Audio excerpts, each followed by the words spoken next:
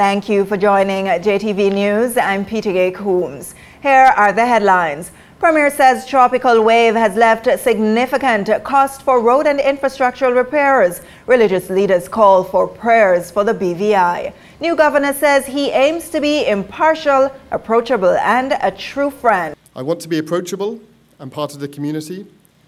While the new Auditor General talks about his plans for backed up audits. Um, I've been appointed here uh, to do a particular task and a big part of that task is to bring the the accounts up to date.